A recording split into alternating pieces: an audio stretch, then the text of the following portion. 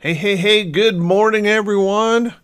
This is Doug Campbell with Right Way Options, and this is the morning market preparation video for July 31st, 2019. So, our last trading day in July, and my goodness, is it going to be a big one.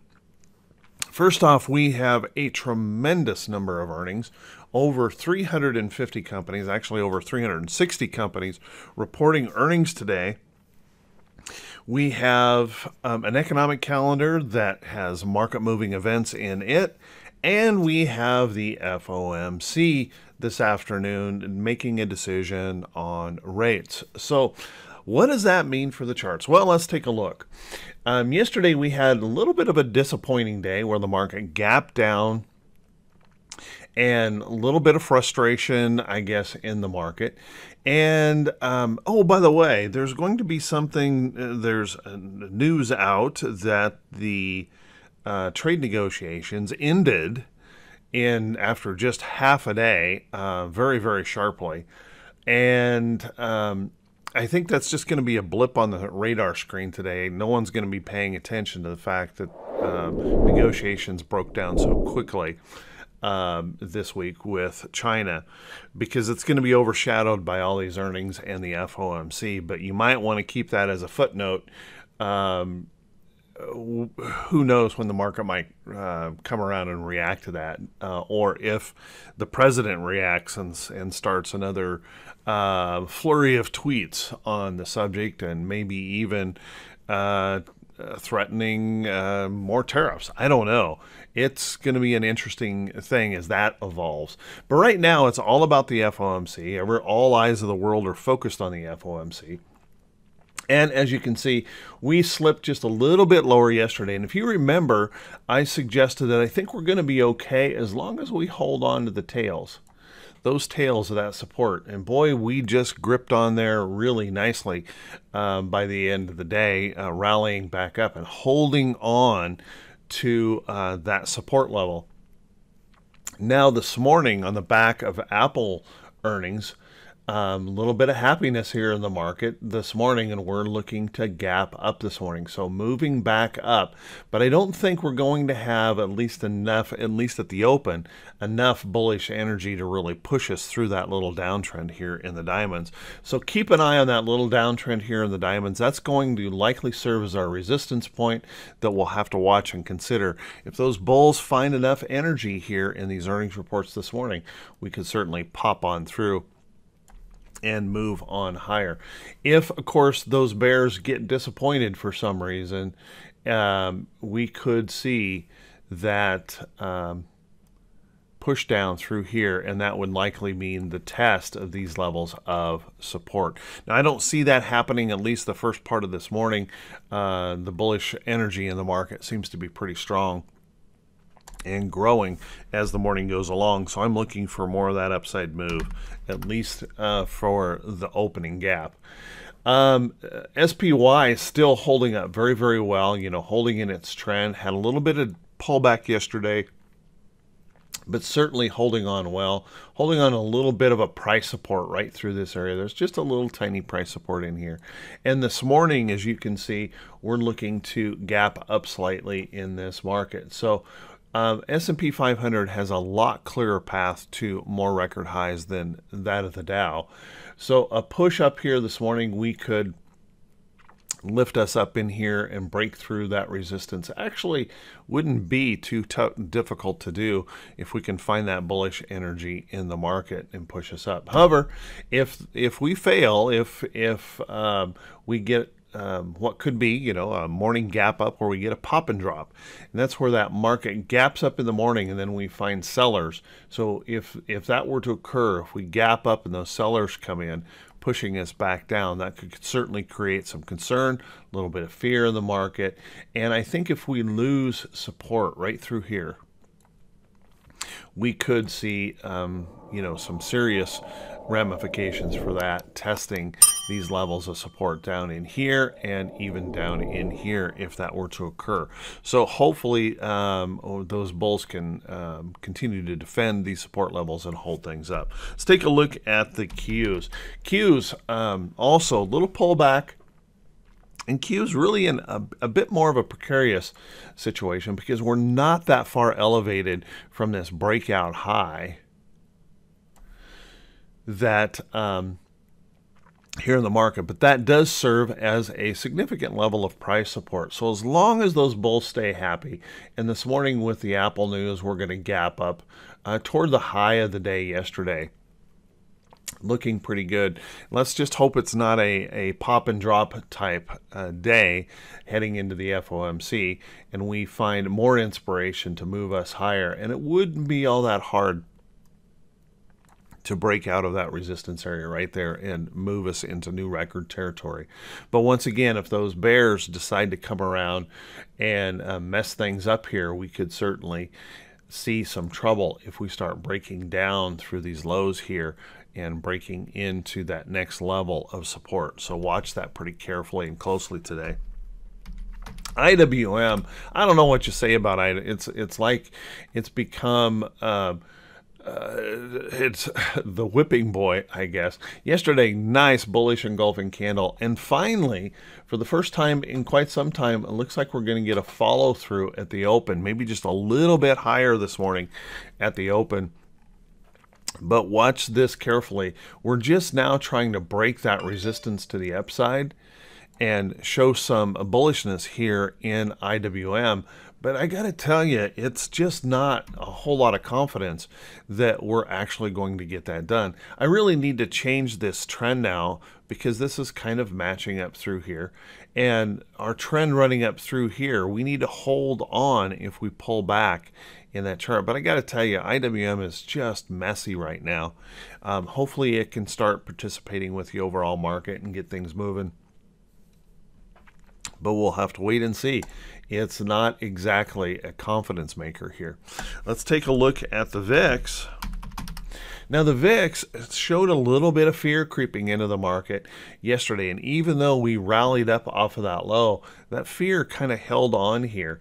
Now, remember, I've been talking about this downtrend, and this downtrend continues to hold, certainly in this market. And with the market gapping up this morning, I would expect that hold to continue. Uh, I would expect to see the fear drop back here in the market a little bit, at least at the open. We'll have to wait and see what happens as we move toward that FOMC.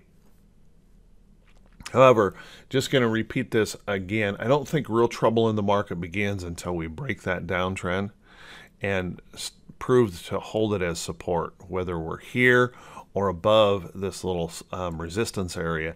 That's where the real trouble could begin. So keep an eye on those levels in the VIX. Let's take a look at T2122, that four-week new high, new low ratio. And yesterday's selling initially had T2122 down here, but we picked it right back up, picked it right back up and pushed us right back up in this choppy pattern that we have going on here um, in T2122. And with this gap up this morning, that could start moving us back up here toward that bearish reversal zone where we're kind of stretching that rubber band up here. Now we've got plenty of room to move, so uh, don't get too worried about the you know the fact that if we reach up here that we're in imminent danger of, falling. I don't think that is the case, and we can even cross up through in here and bounce around up in here for a while. But just know that we we could be reaching up here toward that bearish reversal zone. And think about that um, as you plan your day forward. Let's take a look at our economic calendar today. And our economic calendar has several things to move the market around. First this morning here at 8:15 a.m. Eastern Time, we have the ADP report. ADP is that precursor to that big employment situation number on Friday. So just kind of keep that in mind. We're heading toward that big number here on Friday. So once we get through the FOMC, we still have big numbers that could move the market around for us. So watch that closely. We're not out of the woods yet. Um, then we have um, employment cost index. Both of these have the potential to move the market, but honestly, they're just not as impressive as they used to be.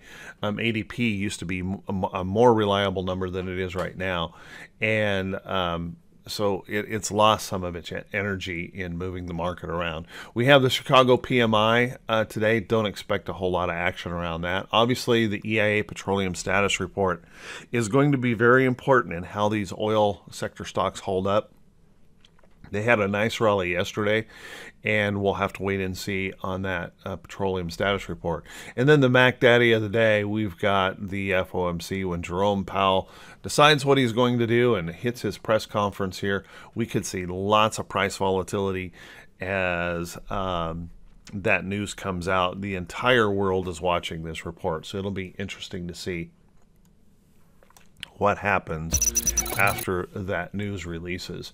So, with that, we've got an awful lot going on today. We have a big day um, in the market, and I would expect some, um, as the morning earnings roll in, I would expect some uh, pretty substantial price volatility uh, during that morning rush. And I, I, call that morning rush during that first 30 minutes of the day where everybody's jostling around and all those earnings reports are rolling in and everybody's making adjustments as as those occur um, but then don't be too surprised if we see the market kind of just get quiet soft um, light and choppy as everyone waits in anticipation of that FOMC. So be careful um, with your uh, decisions today in trading. Um, remember, anything we do around the FOMC is really kind of a gamble. It's not much more than that. So um, be really careful and be thoughtful of that. Remember, one of our big jobs as traders is to protect our capital. So with that, how about we look at some charts that could be setting up trades that are looking pretty good. Well, first off, I'm going to mention Apple here. Apple had this really nice trending pattern, gapping substantially higher this morning, gapping over this last high um, in uh, May. And I wouldn't want to chase that this morning. But um, obviously, Apple staying healthy and strong in any rest, pullback, or consolidation after that gap up open could be an opportunity to enter that trade. A couple trades coming up out of bottoms that I really kind of like. Um, my favorite right now is KSS. KSS is in what we call a rounded bottom breakout pattern. That's where we have this really oversold condition in the short term. All of those prices moving averages and everything start to round higher. And we just have this beautiful pattern in KSS holding up very, very well, looking very strong. Like the look of that chart. And um, I think this has uh, more upside opportunity in it. Take a look at Cintas. Cintas, beautiful price consolidation after gapping on earnings. No one wants to sell this. We'll want to keep an eye on this chart uh, to see if this can actually pop through. And you can see it popped my alert here yesterday.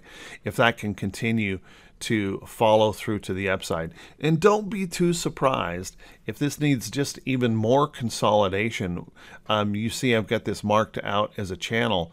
It is entirely possible that this could kind of just kind of slide sideways all the way over into here before it moves. So watch that carefully. Um, still considerably a beautiful chart and uh, setting up well.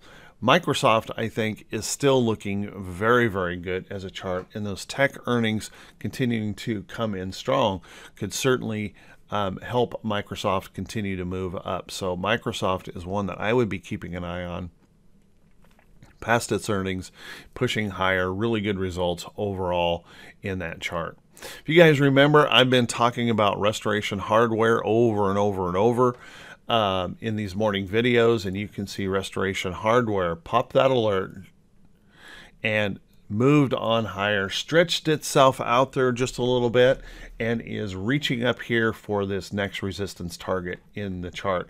So if you're in that trade, you might want to think about peeling some profits out um, watching this resistance up here coming into play if it can move on higher. But RH looking um, really good overall in the chart. Take a look at Shake Shack. Shake Shack finally making a move after quite a bit of consolidation here, popping up, trying to stretch itself out, move higher here.